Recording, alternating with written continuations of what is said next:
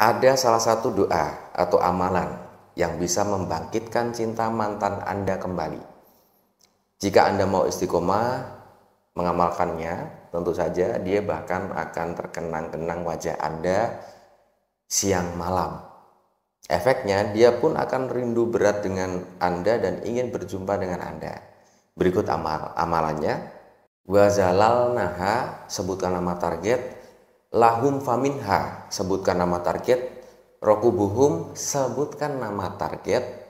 Faminha yakulun dan baca doa agar mantan kembali ini sebanyak 133 kali. Lakukan boleh sambil rebahan dan memandang foto target atau mantan Anda. Lakukan amalan ini secara rutin dan penuh keyakinan minimal selama 11 hari berturut-turut